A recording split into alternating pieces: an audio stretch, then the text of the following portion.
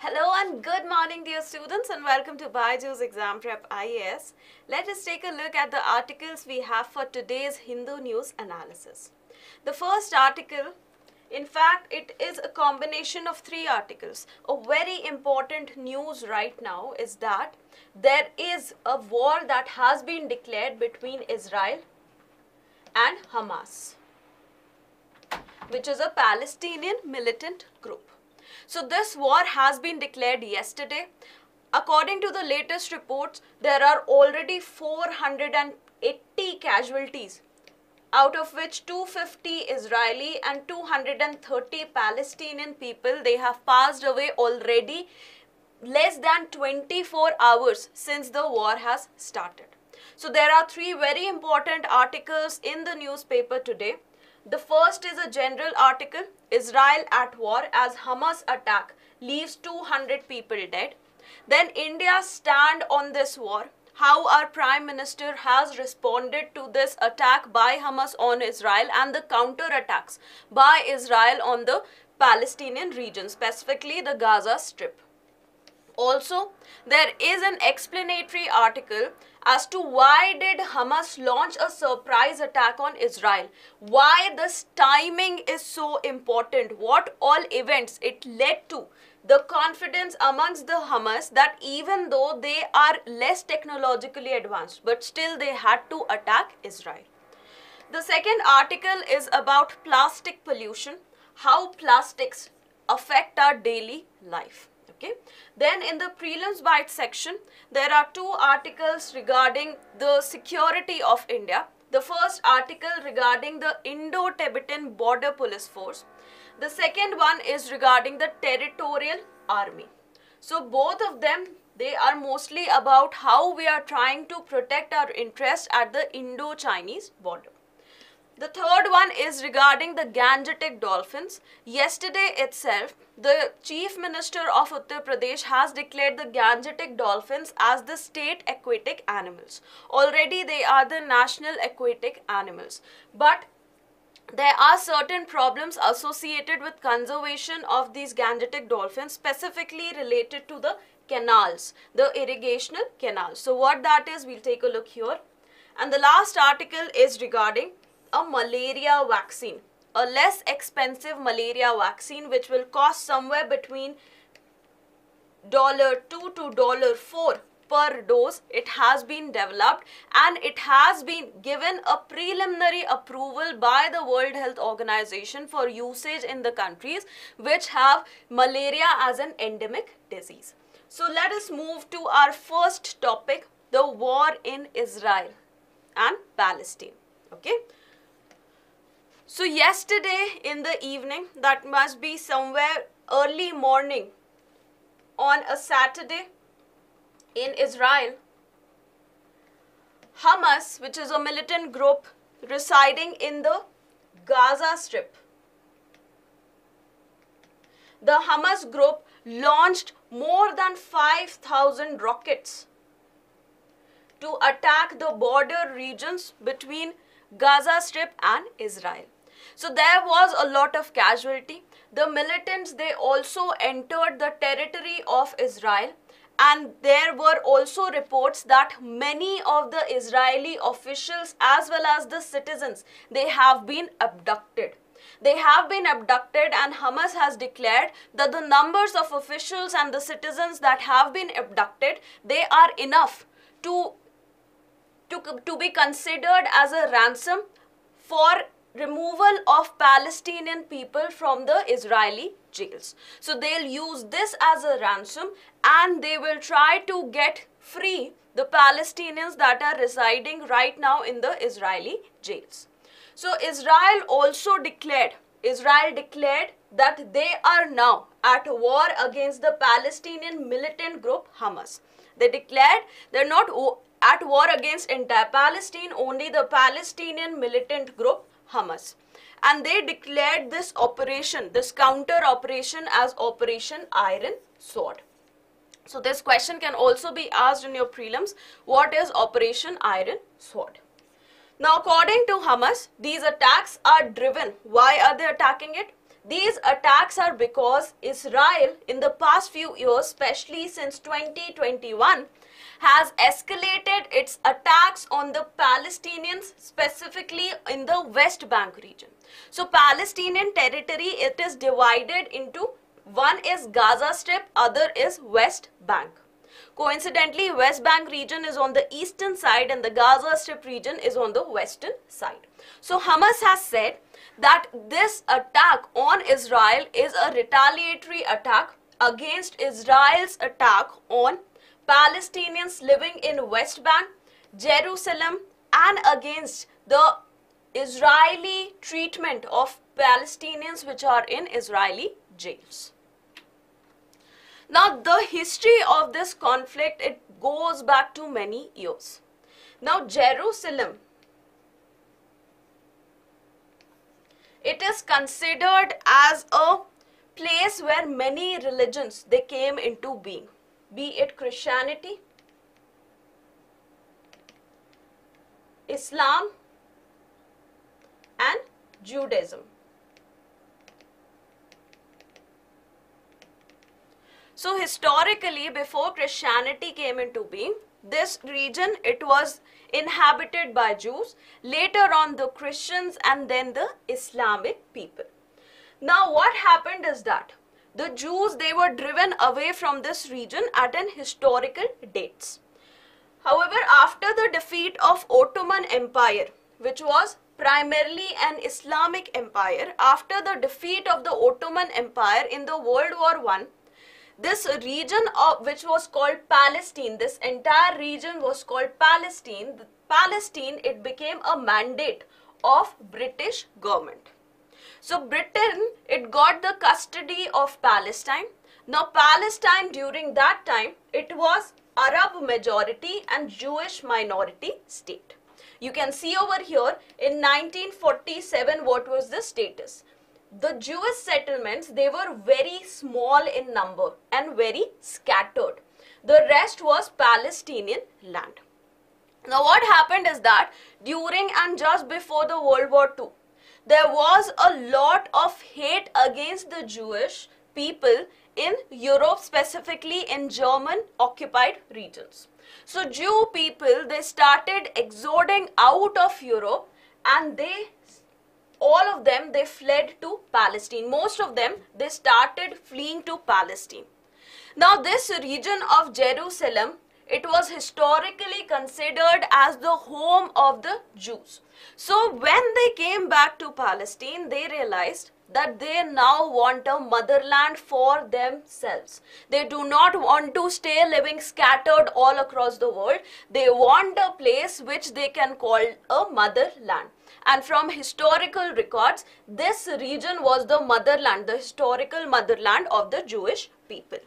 So in 1920s and 1940s, the Jew people, they flew or fled from Europe to Palestine and then they started demanding a motherland in the region.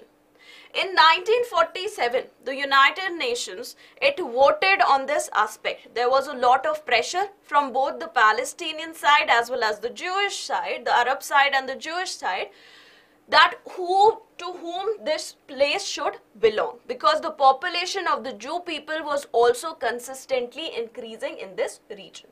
So in 1947, there was a voting in the United Nations to divide Palestine into two separate states, the two-state solution. So two separate states will be created. One will be for the Jew people, Israel, and one will be for the Arab people, that is the Palestinians. Now the Jewish people, they agreed to this because they were finally getting their motherland. However, the Arab people, they were totally against it because it was their land now and they did not want to let go even a tiny bit of their land. So what happened is that this decision was not implemented. Now under this decision, please note Jerusalem, the Jerusalem city, which is a holy city for all these three religions, it was to be kept under international administration and it would not have gone to either Israel or Palestine. However, this was not implemented. Then in 1948, what happened? The British power was already weakening all across the world. The British, they were withdrawing away from many countries. India also got its independence only in 1947 when the British, they had already been weakened. Now British, they started withdrawing from all across the world. They withdrew from the Palestine region which was their mandate as well. So as they withdrew, the Jewish leaders, they declared the founding of the state of Israel in the Palestinian region.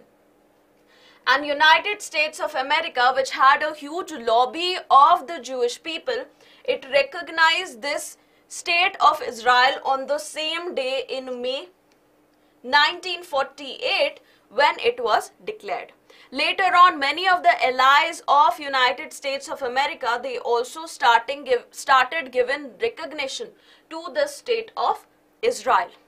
Now the Arab states, they were very angry and that is why there were multiple wars in this region with involvement of many Arab states, Syria, Egypt, Jordan, Lebanon and so on and there were multiple wars. The first war was as soon as there was declaration of Israel. Now this war, it was held in 1948 you can see the UN plan. The UN plan wanted this kind of a division of Palestine and Israel. However, because of the war, a lot of this region which was to be considered under the Palestinian land by the UN plan, it went to Israel. With every consecutive war that occurred, the amount of land with Israel, it kept on increasing. Okay. In 1956, there was raid of Suez Canal, the Suez War. Why? Because Egypt nationalized the Suez Canal and they did not allow any ships of Israel to pass through here. So a combined force of Israel, Britain and France, externally supported by USA, they attacked this region and they also captured some portions of the Sinai Peninsula. Israel also captured certain portions of uh, Sinai Peninsula that belongs to Egypt. Then in 1967 again we had the Six Day War and the Yom Kippur War. Yom Kippur is a very holy day for the Jewish people. In 1973, the Yom Kippur War. Now many people, many experts are saying that this current war that Hamas has started against Israel, it reminds very much of the Yom Kippur, Kippur War. Because Yom Kippur, it was a very holy day for the Israeli people, for the Jewish people. Most of them, they were at their homes and there were sudden attacks. Similarly, Saturday is a holy day, considered as a holy day by the Jewish people. And again, on this holy day itself, there were attacks by the Hamas on Israel. Now, why has Hamas attacked right now? The major city of Israel that has experienced this wrath is the city of Sderot, S-D-E-R-O-T, where from where many of the civilians and the military people as well as the Israeli officials they have been abducted okay? Many have been killed many have been abducted and many other horrific acts they have been committed the videos of which are already viral on various social media platforms. Now you can see Israel over here. Israel it is bordered by Syria over here. There is Jordan, there is Lebanon and Egypt. Now all these countries in the past they have come together and attacked Israel uh, in the favor of a Palestinian state. Now Palestine, the portions of Palestine you will see this is West Bank which is on the eastern side and this is the Gaza Strip from where the attacks were committed. Now, why has Hamas attacked right now? See, the Palestinian and Israel relations over the period of time, they have been consistently deteriorating. There were some efforts by countries like USA to bring together the leaders of Palestine as well as Israel on the same platform and try to build a consensus for peace. However, over the time, this has been reducing there is no peace between the two nations.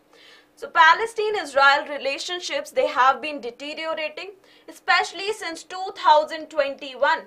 Israel has been carrying out many military raids in the West Bank region.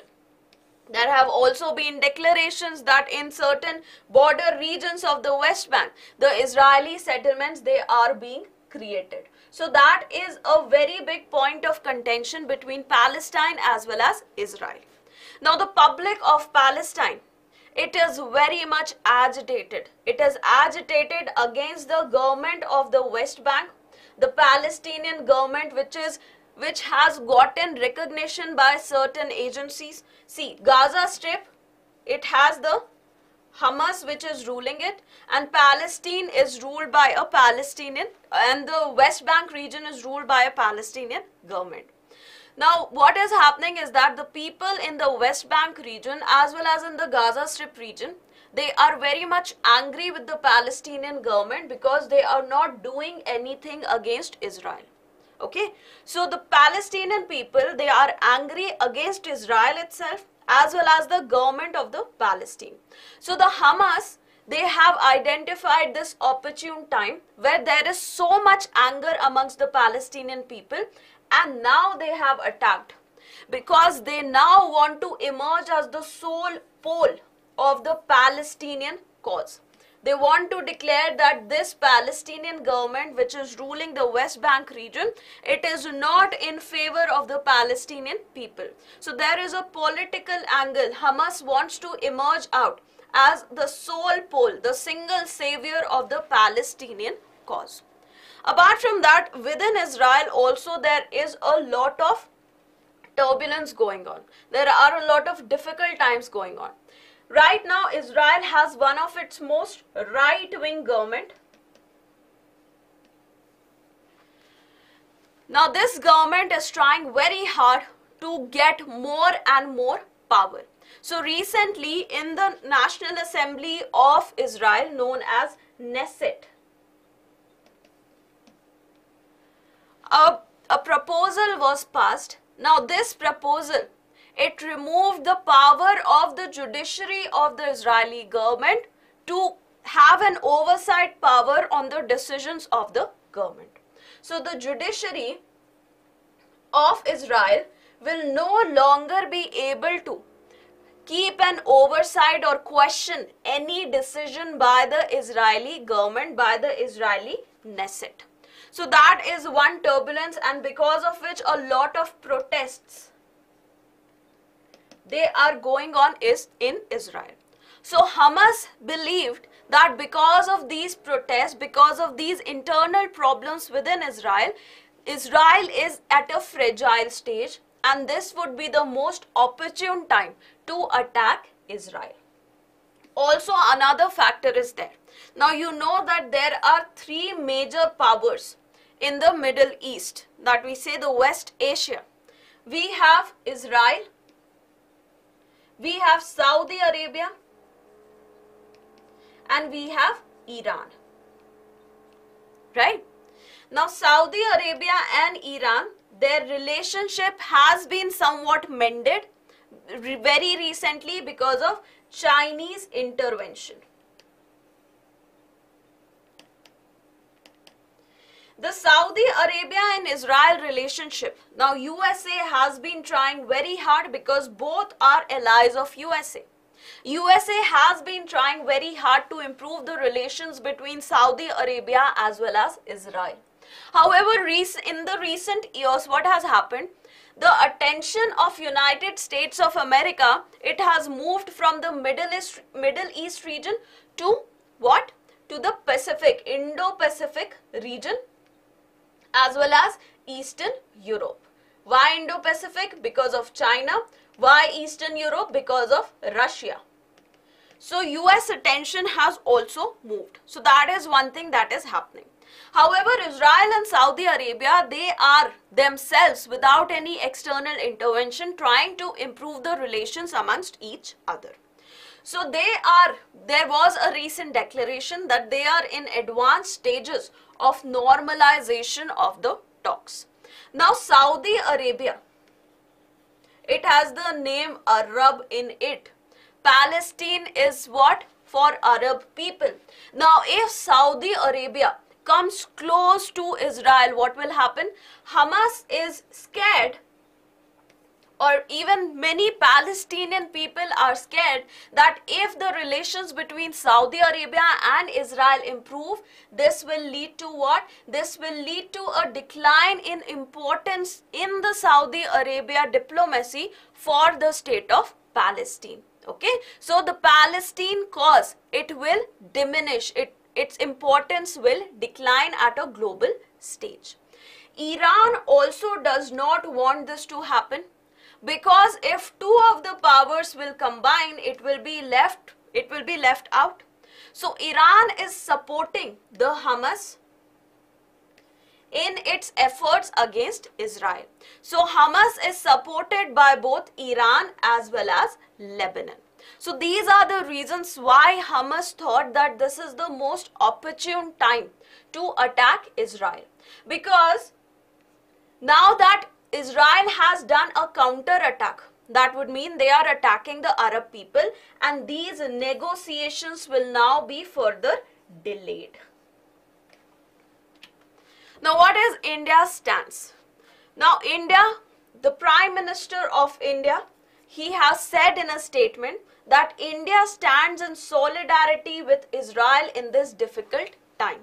India knows the pain of terrorism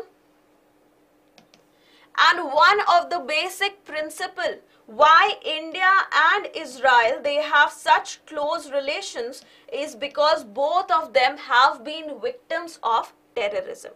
So India has explicitly stated that these are terrorist attacks and we are completely in conjunction or in support of Israel.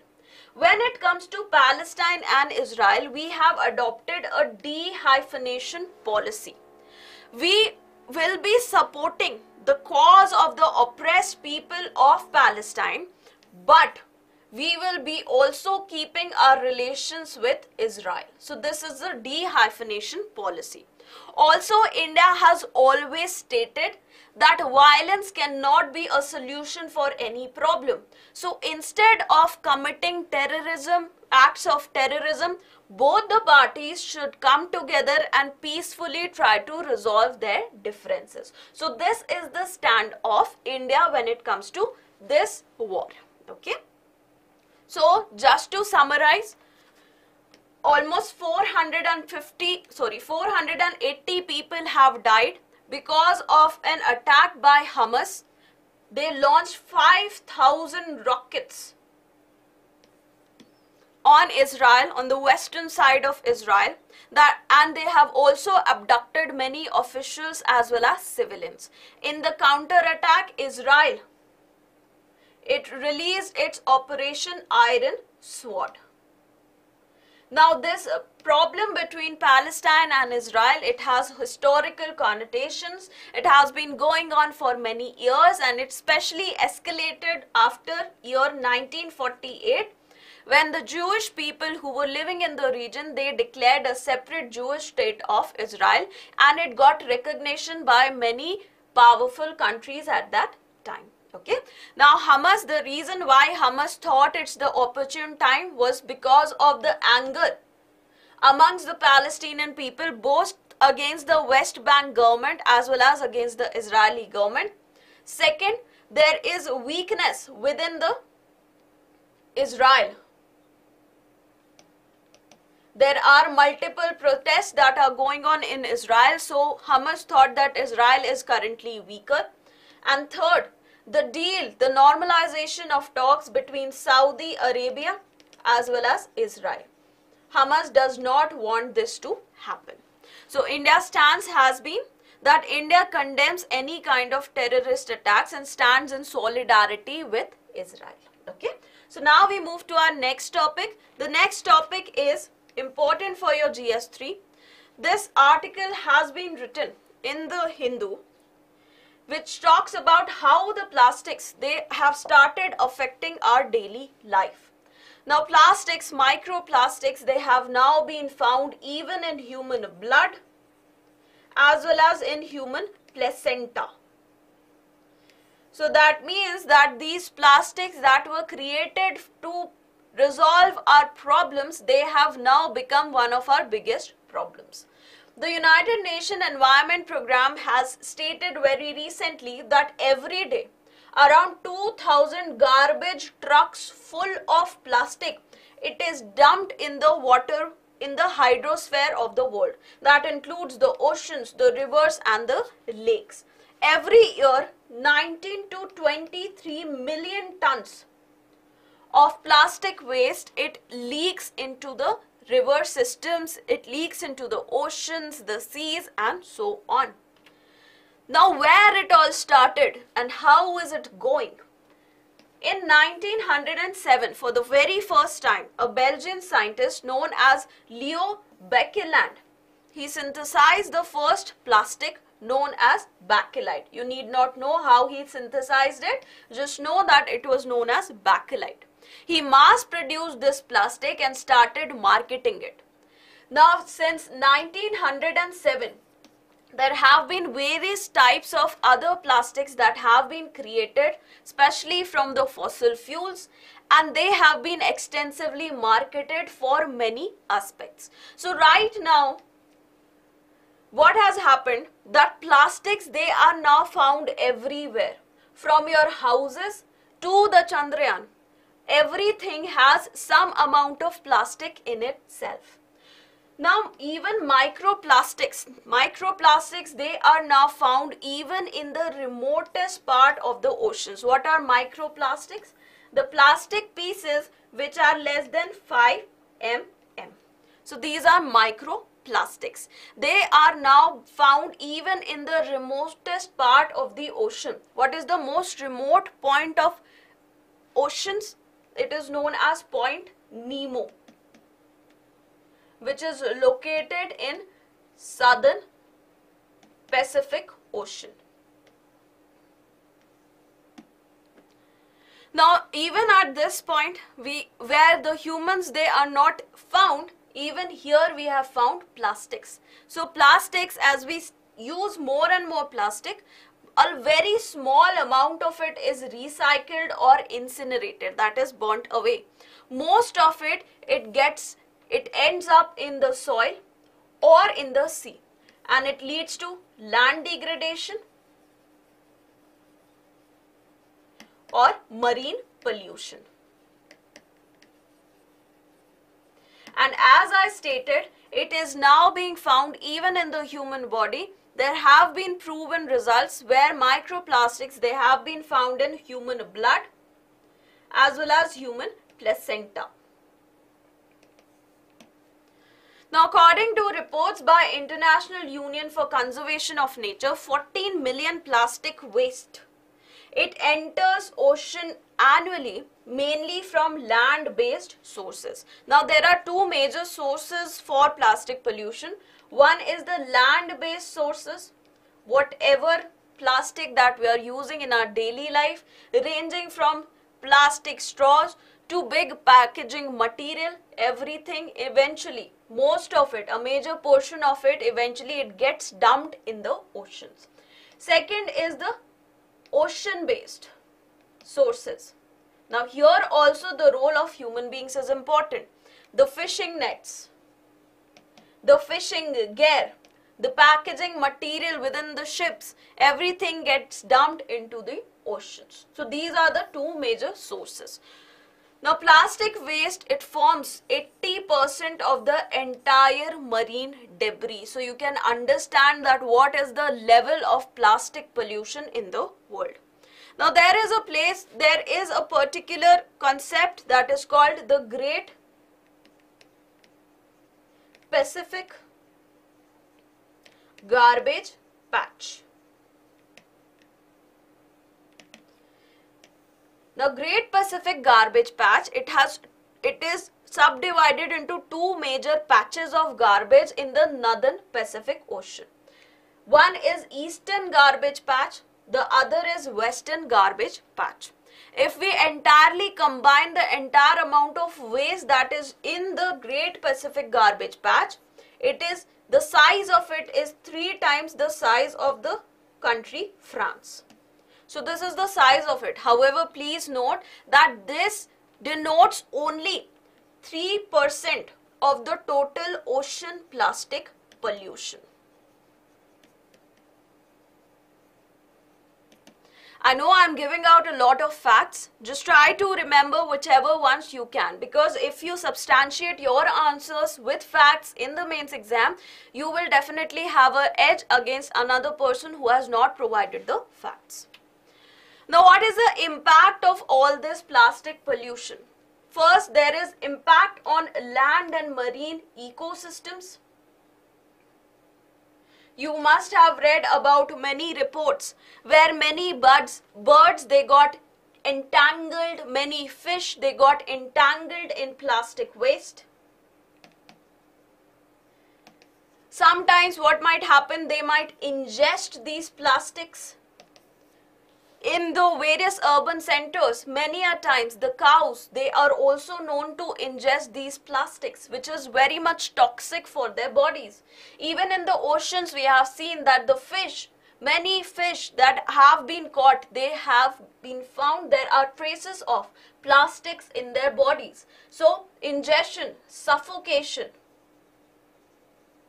Now very recently i saw something. There was a dog a stray dog and that stray dog had a plastic bottle on his head. There was, uh, the bottle had a broad mouth and somehow while searching for food that dog it that plastic bottle got stuck in the neck area of that dog. When i tried to help that dog the dog was running away. It was very much scared. So this is just one example. There are so many land and the ocean based animal that get suffocated because of getting entangled in these plastic wastes. There is also an impact on human health and food security. Now when we consume fish which have consumed plastics, what will happen? These plastics they will enter our body as well. With regards to food security, when we already know that the fish they might have particles of plastic in them, we know that the quality of our food is compromised now. People, when they know about it, when the awareness regarding this might increase, what will happen?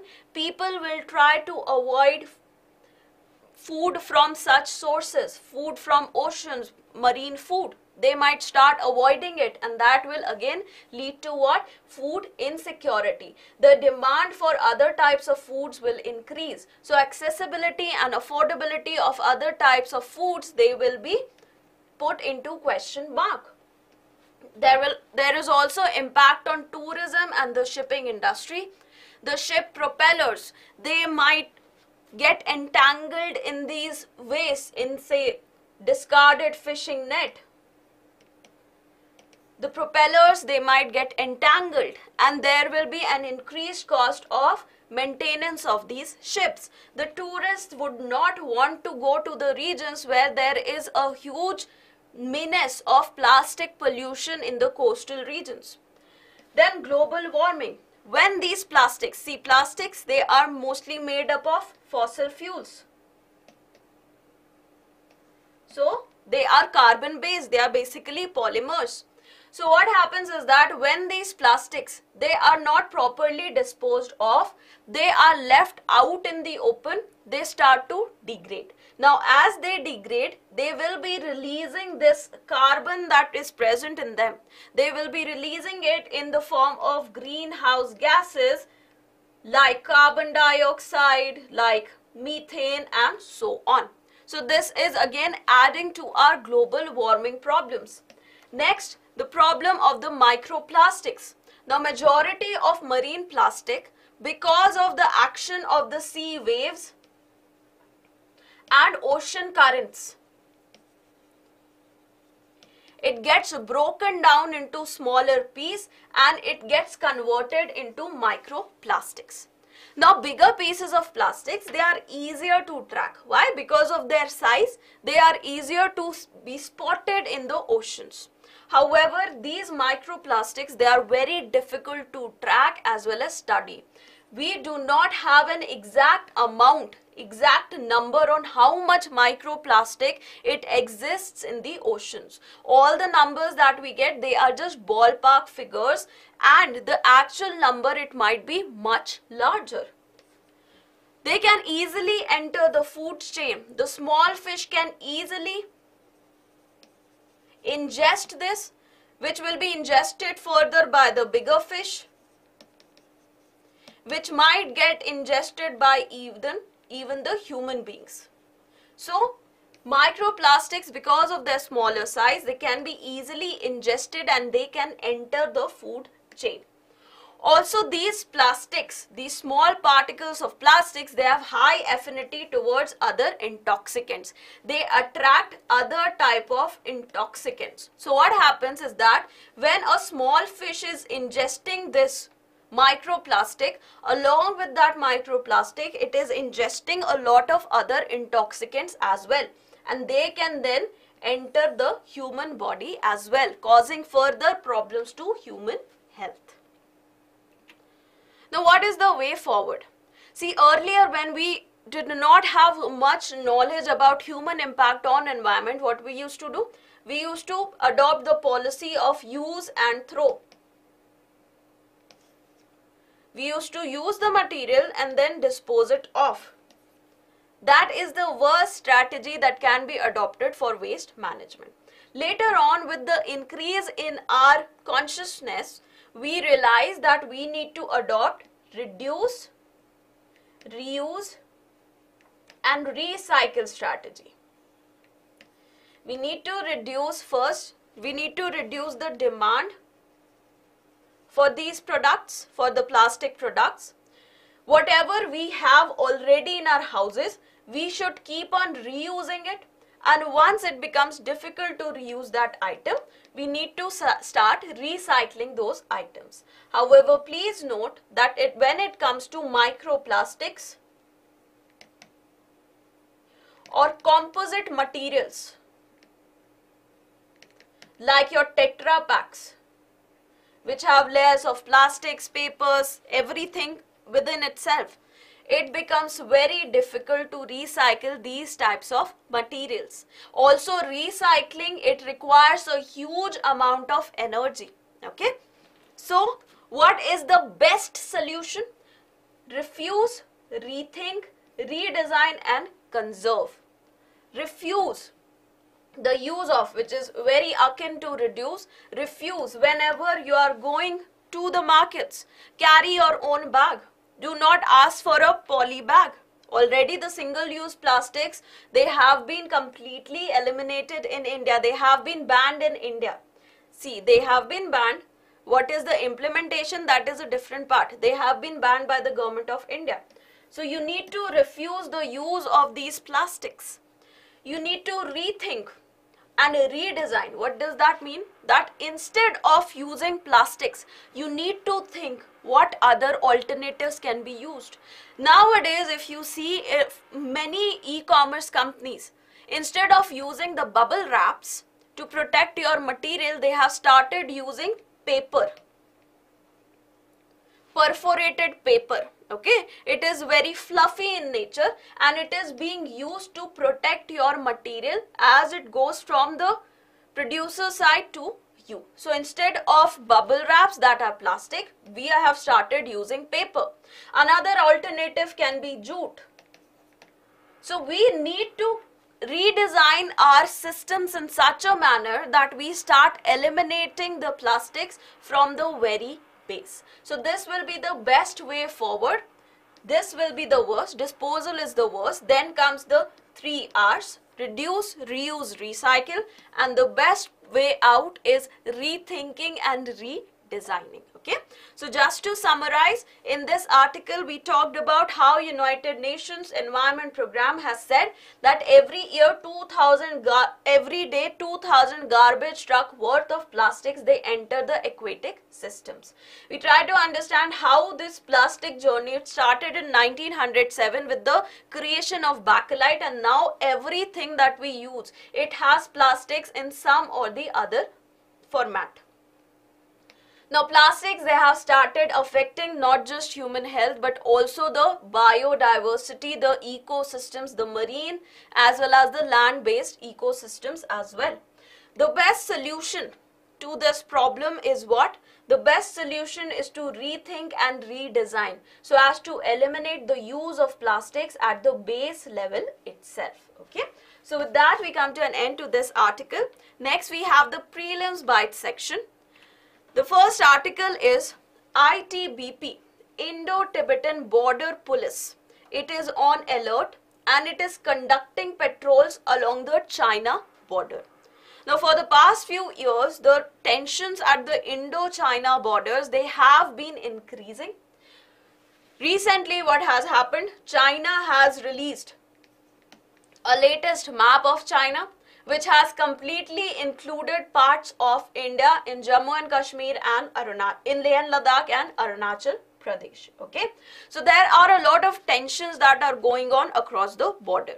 So that's why ITBP becomes so important because this particular police force, it was raised in 1962 after the Indo-China war in order to take care of the Indo-China border. Okay, so ITBP, it has the prime purpose to take care of the Indo-China border. Now, a little bit history about ITBP. It is a central armed police force and it has its own act under which it is working. The ITBPF Act, Indo-Tibetan Border, Border Police Force Act of 1992. Now it was created back in 1962. However, the act it came in only 1992. So for these years, the intervening years, it was under the CRPF Act. Central Reserve Police Force Act. Okay. The nodal ministry for this agency for ITBP is the Ministry of Home Affairs. Now please note that the ITBP, it is taking care of the Indo-China border. Now Indo-China border is where? Along the Himalayas, the Himalayan ranges. So that is why most of the members of ITBP, they are specialized in one or the other form of mountaineering. In mountaineering, in skiing, and so on. So they are very much trained in these kinds of activities because they are along these mountainous tracts. So it is a specialized mountain force. So this is about ITBP. The next article is about territorial army. Now the territorial army has inducted five Chinese language interpreters to call for border talks with China. Here ITBP is an is on alert conducting patrols. Okay. So and here we are preparing ourselves for border talks. While we are protecting the borders, we are also trying to come up with a solution with China for border talks. And for that, the Territorial Army has inducted five Chinese language interpreters. Now, what is Territorial Army? Now, Territorial Army, it is not formal army. It is a part-time voluntary and citizens military reserve force. Military reserve force, voluntary. Any citizen can go and register themselves as a part of the territorial army. In fact, many celebrities, many union and state ministers, they are a part of this territorial army already. Now, this has been created, this was created back in 1920s by the British. And after the independence what happened? A territorial army act of 1948 was passed which allowed for the indian citizens to become a part of this territorial army. Please note that it is an integral part of the Indian Army, comes under the administration of Indian Army and it provides an opportunity for the general citizens to serve the nation and to support the army in their day-to-day -day working. Okay, so this is the purpose of territorial army. As of now, it has 60 units. the territorial army, it has 60 different units, out of which 14 are deployed in counter-insurgency duties at the international border areas and two units they are present in the Andaman and Nicobar Island group. Now various ministries they also have their departmental territorial army battalions. So these battalions they are funded by the respective ministry. For example, Ministry of Environment and Forest it has its own territorial departmental territorial army. Ministry of Jal Shakti, Ministry of Railways, Ministry of Petroleum and Natural Gas. Now states, they can also demand for certain specific type of territorial armies. For example, the state of Maharashtra. The state of Maharashtra has demanded, has requested for a specific ecological battalion to help the state protect the ecology of the state, specifically in the Western Ghats region. Okay? So the people who will be a part of this ecological battalion of the state of the territorial army for the state of Maharashtra they will be working for what? Ecological conservation efforts. Okay? Now recently there have also been guidelines that have been formulated for creating a separate battalion for cyber security so territorial army, it has developed the guidelines for appointment of various cyber experts as well to further help the Indian army in their efforts for protecting the country. Now recent contributions of territorial army that you can give as example if you get any question. They were deployed when the Indo-China, they are border relations, they were deteriorating back in 2020. So there was Operation Snow Leopard. So the territorial army, the various units, they were deployed to support the Indian army in eastern Ladakh. In May, uh, in May what happened? The state of Manipur, the crisis in the state of Manipur, it started escalating. So as this crisis, it started unfolding, the territorial army units, they step these oil units that belong to the this ministry these oil units they stepped in and they protected the various installations the oil installations in these in this region so that there were no problems regarding the supply of essential petroleum and oil products and refueling of aircrafts in the entire country so you can mention these examples as certain recent contributions, as certain case studies related to the territorial army. The next topic is about Gangetic dolphins. Now according to a latest study, Gangetic dolphins, they are getting stuck in the Ganga Ghagra canal system. So what is happening is that these dolphins, they enter these canals when water is released in these canals, especially after the monsoon season. So they enter these canals and once the water level of these canals it reduces, they are left stranded over there. They are left stranded and they can die because of lack of availability of food. They might experience heat waves or people when they might see them, they might also, you know, kind of neglect them or they might cause some harm to them.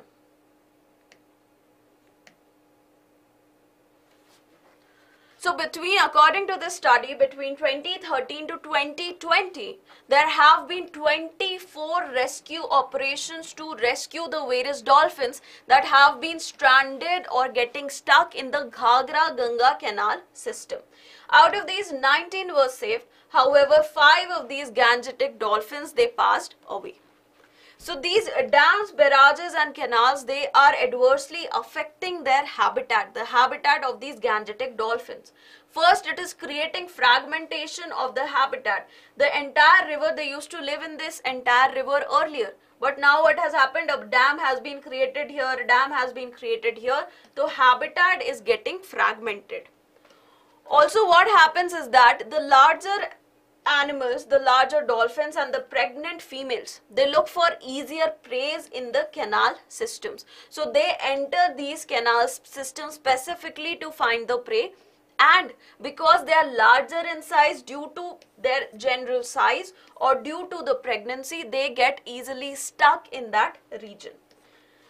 There is also risk of injury or death in the canals water recedes, they are left stranded, there is heat stroke, there is human intervention. And as I stated, they enter the canal systems mainly post monsoon when water is, is released in these canals for irrigation for the rabi crops. Now, Gangetic dolphins, they have already been declared as the national aquatic animal Yesterday, they were also declared by the Chief Minister of Uttar Pradesh as the state aquatic animal for UP. Now, when it comes to the protection given to these, the highest level of protection that can be given to any animal in India is provided to these Gangetic dolphins as well. They belong to the Schedule 1 of the Wildlife Protection Act 1972. At a global scale also, they have been protected by both CITES, that is Convention on International Trade in Endangered Species. They are in Appendix 1, that means the highest possible protection. Any kind of trade is banned any kind of trade of gangetic dolphins, it is completely banned at an international scale. Under Convention on Migratory Species also, they have been protected. They have been given the highest level of protection against the under the appendix 1 what is the IUCN status? International Union for Conservation of Nature. They are endangered species and we need to keep working in order to protect their status protect them as they are the national aquatic animals of India now the last article is regarding the fight against malaria. Now recently a vaccine has been developed by the Oxford University and it will be manufactured by the Serum Institute of India located in Pune. What is the name of this vaccine which can be asked in your prelims exam? R21 Matrix M. Okay, so this is the name. This is a malaria vaccine which has been recommended by the World Health Organization on October 2nd to be used for protection against malaria. It is yet to be pre-qualified but it has already been recommended. That means this there have been trustworthy results from the various trials that have been conducted regarding this vaccine. So it has been tested at five sites across four countries which have endemic malaria which are endemic to malaria. What are these countries? These are four African countries that is Mali, Burkina Faso, Kenya and Tanzania. Definitely there are so many other countries where malaria is endemic too. These are just the four countries where this vaccine it was tested. Now three countries, that is the countries of Nigeria, Ghana and Burkina Faso, they have already approved the use of this vaccine for the children, to immunize the children aged less than 36 months. Because the amount of efficacy, the proven record of this vaccine to reduce the amount of disease amongst the children, it was very high. Okay, you can see it over here. The efficacy of this vaccine, even it is higher compared to the first malaria vaccine. What was the first malaria vaccine? RTSS AS01 commercially known as Mosquirix. Okay. Now this was developed by the GlaxoSmithKline which is an international pharmaceutical company in collaboration with the Walter Reed Army Institute of Research of USA. It was recommended by World Health Organization back in 2021. This one has been recommended by World Health Organization in 2023. The efficacy of this, it is higher than the efficacy of Mosquirix. Now, apart from reducing the number of clinical malaria cases as seen during the field studies, this vaccine, the Matrix M vaccine, it also reduces the load, the parasitic load amongst the children. Now, if the parasitic load reduces, that means what will happen?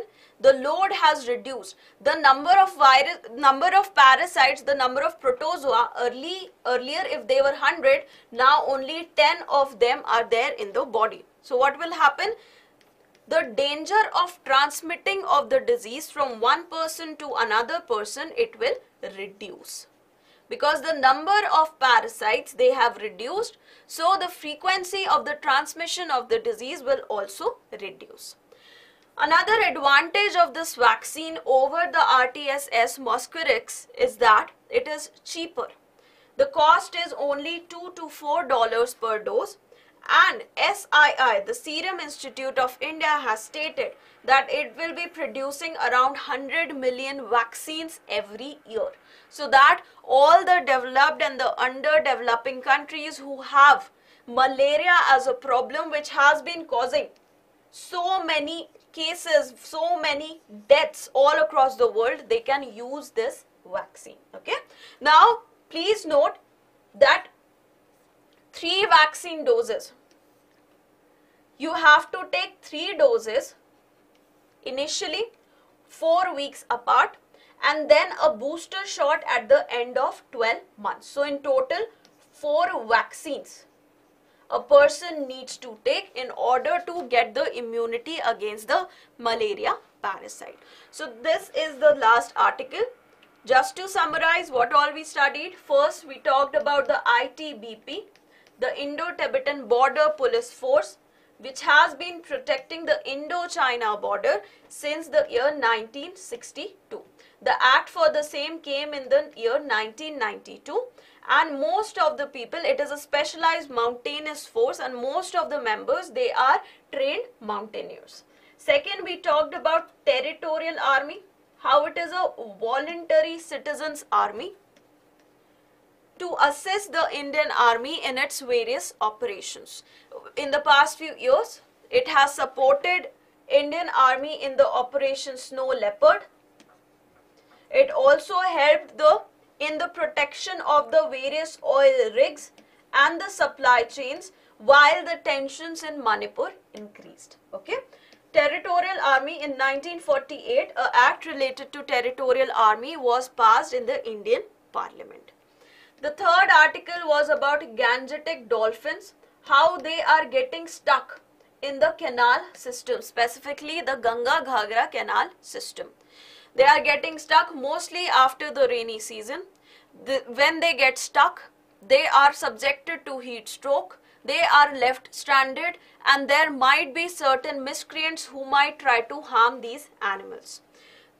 Gangetic animals, they are the national aquatic animal, the state aquatic animal of Uttar Pradesh as well. IU state, IUCN status is endangered.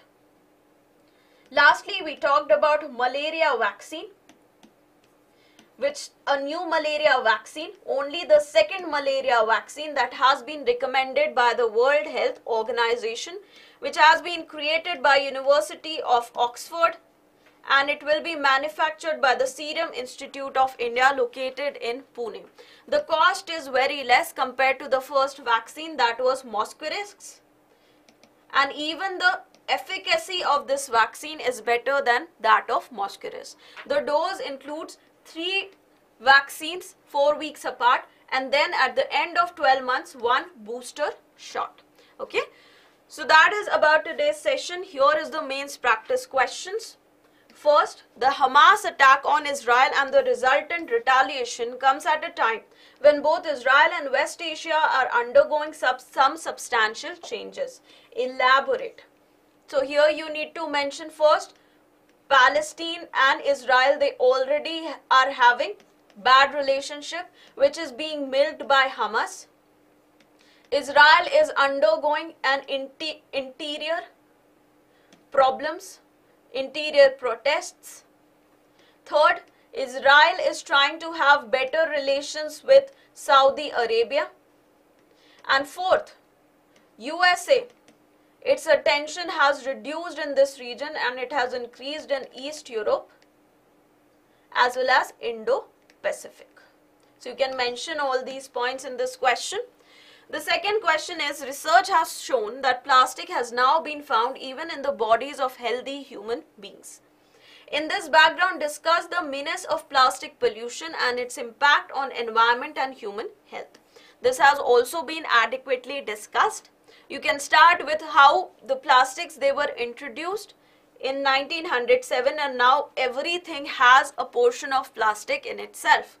Then you can talk about how the aquatic areas they are getting dumped with so much amount of plastic pollution every single day. Then the impact on the environment, land degradation, sea degradation, ecosystems, problems with the animals, human health, microplastics entering our body, entering the food chain. So you can mention all that in this particular question. Okay. So with that, we come to an end to this particular session. I hope you were able to understand everything. So with that, it is me, Pallavi Saxena signing off. Thank you so much and have a very good day.